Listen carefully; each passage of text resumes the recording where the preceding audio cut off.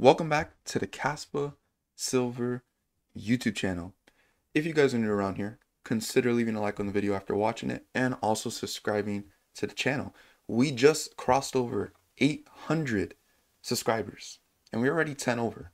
I want to thank you guys so much for the support.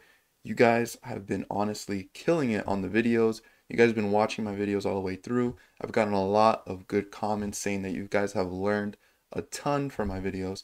So just want to thank you guys so much and we're just going to keep pushing on.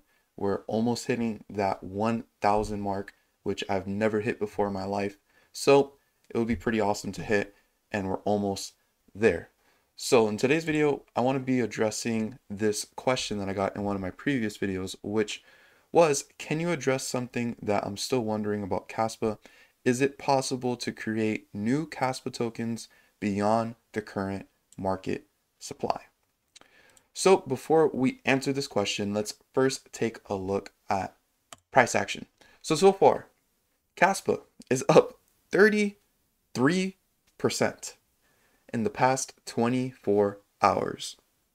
Yesterday's video, I was calling that Kaspa was heavily oversold.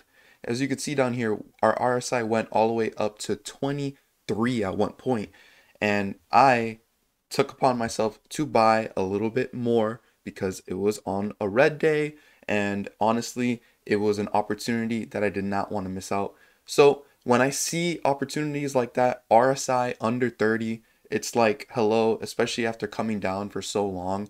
Hey, just keep dollar cost averaging in on the bottom and it looks like I was able to catch a bottom and we actually pumped literally like an hour after I bought from at 1 2 area.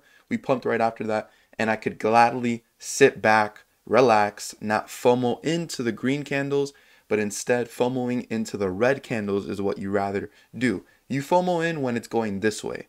If it's going back up, don't FOMO in. Just sit back, relax, wait for a red day. It's gonna come again. Nothing goes up forever. But either way, Kaspa is just so cheap right now that I'm trying to get as much as I can before we hit five cents, before we beat all time highs. I see this as a long term investment. And if you're considering buying this and holding for a long period of time, for two years into bull run, then right now is is the opportunity. I mean, we were in this channel right here, which was a, a channel that could show that we're really close to the bottom. And again, people are going to keep calling for it to go lower and lower. Any person that calls it at a certain price, someone is going to call it even lower than that because everyone just wants Kaspa to be cheaper so they can get more. But if you just dollar cost average in and you have a long term mindset, we did our research. We understand what Kaspa is trying to do. All you got to do now is dollar cost average in and not FOMO into these pumps. And instead, when everything looks bad, when everyone's screaming, when everyone's calling for it to go lower, that's when you can casually buy in and not worry about anything so that when the pumps do come back, if they do come back, you don't have to buy in. You just sit back and relax and wait for people to get all scared again because it's going to happen. Nothing goes up forever. But I just want to also show you guys that right now on the RSI, we are at a about almost a 40 again. And it's important to look at the weekly because on the weekly, I noticed something here. So on the RSI for the weekly, we're still at about a 50, which is still kind of high. Um, a lot of people still think, you know, we could go back down to this one cent. This still could be just a uh, like a, a, little bull run, uh, bullish movement uh, before we just keep having more downsides. You could see here that we did we've done this before. We dropped, dropped, and then we had a really big bullish candle right here, and then we dropped, dropped more. So that could happen again. The only difference with this one is, if you don't know what this is, I've learned about this um, from just watching other people. This candle on the weekly is a dragonfly doji. And if you don't know what that is, it's something, it looks like this. So basically, when the candle looks like this, which is basically what happened over here, our low was super down here, but then it, it closed, it's trying to close way higher. Then that means this is a dragonfly doji and this is a when this happens, it means it could be a reversal in the chart depending on what was happening previously. So basically this kind of explains it pretty good right here. So Dragon Dragonfly Doji is a type of candlestick pattern that can signal a potential reversal in price to the downside or upside, depending on price past price action. It's formed when the assets high, open, and close prices are the same. The long lower shadow suggests that there was aggressive selling during the period of the candle, but since the price closed near the open, it shows that the buyers were able to absorb the selling and push the price back up. So key takeaways, a Dragonfly Doji can occur after a price rise or price decline. The open, high, and close prices match each other, and the low of the period is significantly lower than the former three. This creates a T shape. The appearance of a Dragonfly Doji after a price advance warns of a potential price decline. A move lower on the next candle provides a confirmation. A Dragonfly Doji after a price decline warns the price may rise. If the next candle rises, that provides confirmation. So basically, looking at this candle right here, if we can print a green candle next week, then that potentially can be a confirmation that the price is going to continue moving towards the upside. Now, this is just based off of this one uh, candle right here and just this one factor but there's many factors you have to look up look up in the charts and I'm not a pro on this stuff. I'm always learning, but it doesn't matter to me. I'm long-term Kaspa bullish, so I'm dollar cost averaging in and uh, ignoring all the noise. So anyways, let's get into the tokenomics. So first off, uh, to start, the BlockDAG architecture with rapid block rates allows more mining decentralization and enables effective solo mining even at lower hash rates. Fair launched in November of 2021 with no pre-mine, zero pre-sales, and no coin allocations. Kaspa is 100% decentralized, open source, and community managed. The max supply of Kaspa is 28.7 billion coins, with an emission schedule that halves once per year via smooth monthly reductions by a factor of this formula right here. So you could come here to the Kaspa website, you could look at the tokenomics, and you can learn that were fair launched, no pre-mine, and the coins, because th this is a, a key thing in this question, was first off, it says, is it possible to create new Kaspa tokens? And to begin, we are not a token. We are a coin. Tokens are created under original blockchains. So Ethereum has a Pepe, and that's a token because it's made on the Ethereum blockchain.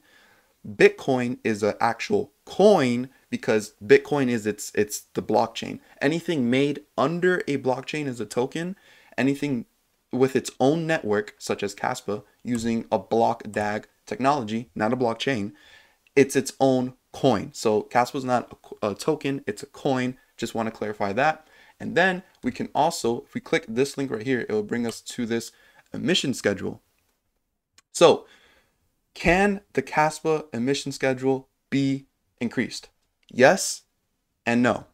It can be increased, but it won't be increased. Reason being is because if they wanted to increase it, that would require a hard fork. A hard fork requires changing the code and splitting off the code into a new coin. So basically, I, in previous videos, I've talked about Bitcoin Cash, Bitcoin SV, those are hard forks that that take the code, they change it, and then if people want to run that new code, everyone would have to come into agreement so that they can run it. If not, it would literally create a brand new coin. So that's why Bitcoin was created. Someone was like, "Hey, Bitcoin's too too slow. I'm going to change the code and make it faster." But that that made a whole new coin because people were split on transferring because the developers can do whatever they want. You can you can change the code, you can do whatever you want. But when you change the code, you have to completely go off from the main code and then everyone who's mining with their devices, they have to willingly choose to go to the new code. So if they don't choose to go to the new code, then the original coin remains and then eventually if there's like a, a good even amount of split a new coin will be created. And so, can the supply be increased? Yes, it's possible. Will it? No, not on Kaspa itself. If they were to do that, that would be very anti uh, crypto, anti. The whole point of Kaspa is like mimicking Bitcoin. And the whole point of it is the fact that the supply is not supposed to increase any more than what is set in stone based on the emission schedule. Now, uh, to go back into more history and also explain, you know, why does Kaspa's emission schedule, why is it 28 billion and Bitcoin's 21 million? That seems like 28 billion is a lot of Kaspa. That that allows for like four coins, four Kaspa coins for every single person on the planet. Why is it so much? Well, let's go back in a little bit and take a little history lesson of what happened when Kaspa was first created. So why am I seeing different max supplies in different places? In a nutshell, the hard cap in the code is 29 billion, but overall supply is an estimate due to the halving schedule being on DAA scores, rounding original um, GameNet, random rewards, and possibly for a mission to reduce with faster block rates. There was a random reward subphase during the first two weeks. So when Kaspa was first launched, this is this is how the tokenomics was working. This is what you're seeing in this pre-deflationary area.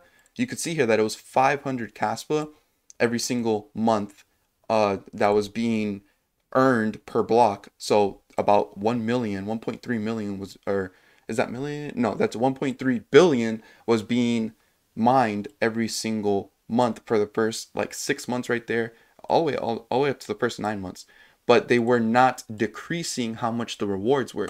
So this is how it worked before, where the block reward was was random in the range of 1 to 1000 with the expected average value of 500.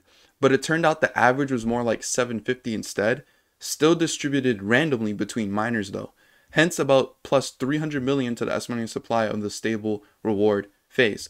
The halving schedule is based on DAA score calculation and since in real time, the DAA score looks slightly different for each node. Not all nodes know all blocks generated at any given moment, thanks to the DAG structure, where there could be more than one block mined simultaneously in different ends of the Kaspa network. Each node decided separately whether it's already time for reward reduction or it is not yet. So miners on different nodes can have different rewards uh, for their blocks during the phase change period up to 18 seconds in total.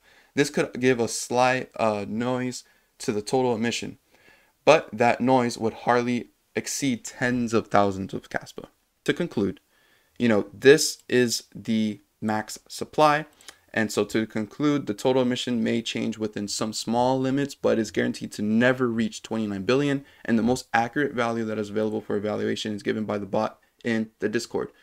28.7 billion Kaspa in the period of 36 years from the mainnet start November 7th, 2020 two. So when Kaspa first launched, each mined block was a random reward. The reward was on average about 500 Kaspa per block mined. It ended up being that for the first two weeks, it was way more than that. It was like 750 was the average, which was a problem. So then they decided to introduce a deflationary schedule just like Bitcoin and then make a max supply of about 29 billion uh, or 28 billion um, and and saying that it would never go to 29 billion exactly. But it's going to be probably way less than that because you know people are going to lose their wallet addresses and their seed phrases and all that kind of stuff and so there's going to be less supply. But again you know why is it this high? Why is it 28 billion? Well ultimately it's 28 billion because of how the rewarding schedule was going to work and it just ended up being that much Kaspa that was going to be given out, but also keeping back, keeping to the core of what Kaspa was trying to be. It's trying to be a digital silver. And in Bitcoin's case, it's more like a digital gold. So when you have a digital gold, you need a lot less of it to make it more valuable and scarce so that people will be incentivized to literally just hold on to it. Kaspa having 28 billion coins incentivize people not really to hold on to it that much because it's supposed to be more liquid because it's supposed to be a digital silver and with a digital silver means that there's it's more liquid and and it wants to incentivize people to spend Kaspa because they're trying to become a true peer-to-peer electronic cash system now, this is not easy for Kaspa to become. That requires crazy adoption, and it's not going to happen overnight.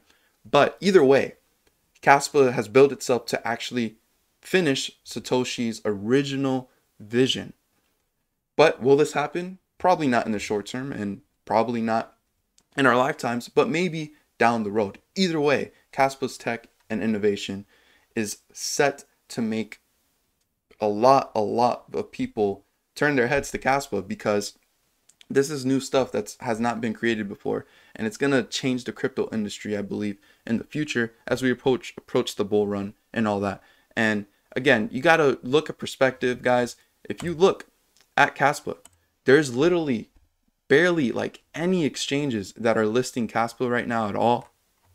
And so it's just like it's not even on one major US exchange where you can buy and withdraw it from the exchange. They have Uphold, but Uphold you can only buy it and you can't even uh, you can sell it, but you can't send it to your own wallet. So still, there's no one, there's not one major U.S. exchange. So this is an opportunity, I believe, of a lifetime. After doing all my research, this is my opinion on how I look on Kaspa, And, you know, just, I just recommend you guys do your research, understand your investment. Because if you don't understand your investment, you would have sold right here because you would have listened to everybody saying that it's going to keep going lower and it might go lower. But again, timing the market never really wins. You can keep timing the market, you could try to time the market, but usually time in the market always wins over timing the market because eventually you're going to get burned. You're going to keep trying to time it lower. You're going to keep thinking it's going to go lower. You're going to get burned. And then when it starts pumping, you know, to time the market, you have to have really good emotions. You have to have good emotions to not want to buy when it keeps going down. And then you have to have good emotions to take the fact that, hey, we just went up 30%. Does this mean that we're going to go lower? I don't know. No one really knows. So you have to have really good emotions if you want to try timing the market. So if you're good at trading, go ahead, knock yourself out, try it. But for an average investor, someone that doesn't really know much about investing and all that, dollar cost average is going to be your best friend. Don't try to listen to people. Don't even listen to me. You know, do your own research and be safe with your money, guys. Uh, don't be dumping all your save life savings on here. You know, make sure you guys are are set with other uh, savings in other areas, such as like an emergency fund, such as other investments for retirement. Don't rely to make all your money on one investment. That would not be smart at all. So I hope you guys enjoyed this video. If you guys have not taken a look at my Patreon, we are currently running a free access right now, seven day free trial. If you join the bronze tier, you get seven days free access to the private Discord where we can talk with like minded people about financial literacy and Kaspa. So if you guys are interested in that, the links are down in the description. If you go to the bottom over here in the description, right here, consider joining my Patreon to get access to private Discord and more. And it's free for the first seven days. So if you don't want to pay the $10 after seven days, just cancel it and it's all good. And then lastly, if you guys have not gotten your Tangem wallets, this is a good wallet to keep your Kaspa safe from these exchanges possibly collapsing. Recently, Hotbit just shut down their exchange. And now anyone who left their money on their exchange, I think it's you have until June, but if you leave your money on your on that exchange, they're going to shut down and you're going to lose all your money and then what you're going to do. So uh, you can't do anything. When that happens with an exchange, these exchanges can go bankrupt. Never trust exchanges. If you have not gotten your Tangem wallet to hold your Kaspa or any other crypto pretty much offline, consider using my code Kaspa Silver and you'll get a discount. You could choose two cards or three cards, but ultimately, uh, three cards would be the safest option because these cards hold your seed phrase within the card itself instead of having to write it down and keep it keep it on a piece of paper. The cards keep it safe for you. All you got to do is keep the cards safe. And even if someone takes the cards from you or takes one card from you, uh, you still have that backup card and they would need to know the password to even get into your account with the card. So if you guys are interested in getting a good cold storage option to keep your Kaspa offline, do not trust exchanges ever with your money, then consider doing that. And if you guys, again, are new around here, consider subscribing. And as always, don't be average, be different.